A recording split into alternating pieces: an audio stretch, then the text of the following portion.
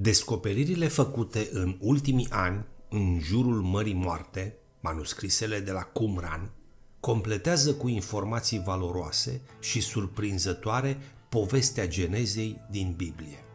Scrieri până acum necunoscute relatează încă o dată despre vehicule cerești, de fii ai cerului, de roți și de fumul pe care îl împrăștiau în jurul lor aparițiile zburătoare în Apocalipsul lui Moise. Eva privește spre cer și vede trecând o navă luminoasă trasă de patru vulturi strălucitori. Moise afirmă că nicio ființă pământeană nu ar fi putut să descrie splendoarea acestei apariții. În cele din urmă, aparatul se îndreaptă spre Adam, în timp ce dintre roțile sale se împrăștie fum. Acest pasaj, consemnat după atâtea altele, nu ne spune nimic nou, cu excepția faptului că pentru prima dată se pomenește în legătură cu Adam și Eva despre care luminoase, roți și fum în chip de apariții divine. Și în sulul lui Lameh s-a putut descifra o relatare a unei întâmplări cu totul ieșite din comun. Din păcate, acest document a fost recuperat fragmentar, astfel încât din text lipsesc propoziții și aliniate întregi. Dar ceea ce ne-a rămas este atât de surprinzător încât merită să fie povestit. Tradiția spune că, întorcându-se într-o bună zi acasă, la Meh, tatălui Noe, fu surprins găsind un copil care, după înfățișare, nu semăna deloc cu ceilalți membri ai familiei. Lameh îi face soției sale, Bat Enosh, reproșuri aspre, afirmând că copilul nu este al lui. Aceasta se jură pe tot ce are mai sfânt că fiul e al lui tata Lameh și nici de cum al vreunui soldat sau al vreunui străin sau fiu al cerului.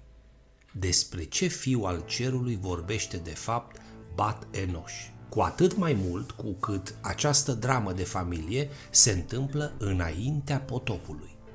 Lameh nu dă crezare cuvintelor soției sale și, profund neliniștit, se duce să ceară povața tatălui său, Matusalem. De îndată ce ajunge la el, îi povestește trista întâmplare. Matusalem îl ascultă cu atenție și după o matură chipzuință hotărăște să o pornească și el la drum pentru a-l consulta pe înțeleptul Enoch. O drasla străină, apărută în familie ca un pui de cuc, provocase o mare agitație încât bătrânul se încumetă să purceadă la îndepărtata și obositoarea călătorie până la Enoch. Originea copilului trebuia lămurită. El îi povestește lui Enoch cum că soția fiului său a dat naștere unui băiat care seamănă mai mult cu un fiu al cerului decât cu un om. Ochii, pielea, părul, comportarea, totul îl deosebesc, afirmă el, de ceilalți membri ai familiei. După ce a ascultat povestea, înțeleptul Enoch l-a trimis acasă pe Matusalem cu o veste dintre cele mai alarmante. O pedeapsă groaznică se va abate asupra pământului și a locuitorilor săi. Carnea toată este osândită să piară, fiindcă este păcătoasă și depravată. Cât despre micul copil străin, pe care familia l-a suspectat, el va fi cel care va da viață unei noi rase, chemate să supraviețuiască groaznicei pedepse rostite împotriva omenirii de Marele Tribunal. De aceea, să-i poruncească fiului său Lameh să boteze noul născut cu numele de Noe. Matusalem făcu cale întoarsă și își vesti întocmai fiul despre cele ce-l așteaptă.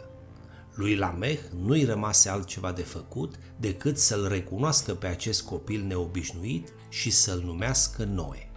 Ceea ce uimește în această poveste de familie este prorocirea prin care încă părinții lui Noe, ba chiar și bunicul Matusalem, au fost preveniți de potopul ce urma să se abată asupra oamenilor de către același Enoch, care curând după aceea, potrivit legendei, va urca pentru totdeauna la ceruri pe un car de flăcări. Citind o astfel de poveste, nu se pune oare întrebarea dacă nu cumva specia umană este rezultatul unui act voit de prăsire al unor ființe debarcate de pe vreo planetă străină? Cum să ne explicăm altfel rațiunea fecundării repetate a speciei umane de către uriași sau de fi ai cerului însoțită de nimicirea unor exemplare umane nereușite? În această perspectivă, potopul devine o catastrofă pregătită din vreme și cu grijă de către niște ființe necunoscute, coborâte pe pământ în scopul de a nimici specia umană în întregime, în afara câtorva indivizi aleși. Dacă potopul, a cărui realitate este dovedită din punct de vedere istoric, a fost efectiv plănuit cu câteva sute de ani înainte ca Noe să primească poruncă de a-și întocmi arca, atunci nu mai poate fi desigur vorba de a-l considera drept o osândă divină.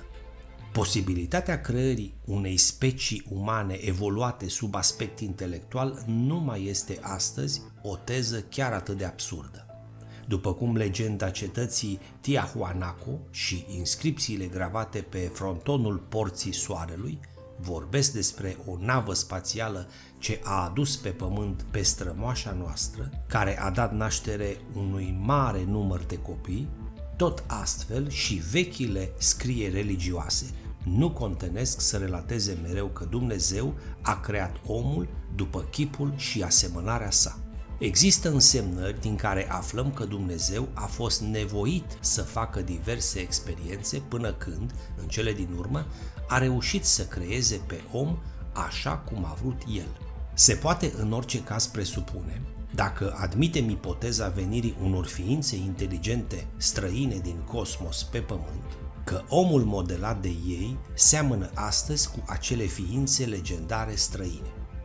În acest șir de ipoteze și jertfele pe care zeii le pretindeau de la strămoșii noștri constituie enigme curioase. Într-adevăr, ei nu se mulțumeau numai cu tămâie și jertfe de animale.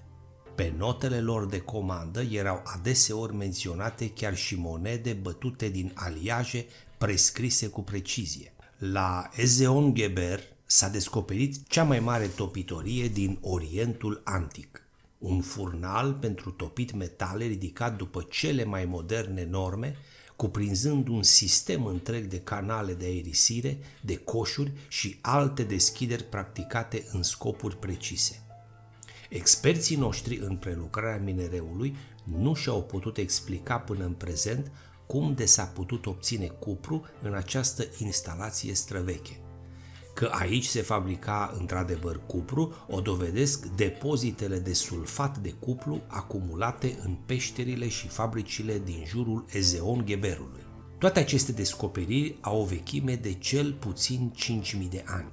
Dacă cosmonauții noștri vor întâlni într-o zi pe vreo planetă îndepărtată ființe primitive, acestea îi vor lua fără îndoială drept zei sau fii ai cerului. Cosmonauții noștri vor avea probabil pe acele meleaguri necunoscute și încă nebănuite același avans asupra primitivilor din acea lume pe care i-au avut asupra îndepărtaților noștri strămoși, ființele legendare venite din univers. Ce decepție ar fi însă dacă în acele locuri necunoscute progresul ar fi fost mai timpuriu și cosmonauții noștri nu ar fi întâmpinați ca zei, ci salutați cu un zâmbet condescendent, așa cum te comporți cu niște ființe rămase mult în urmă.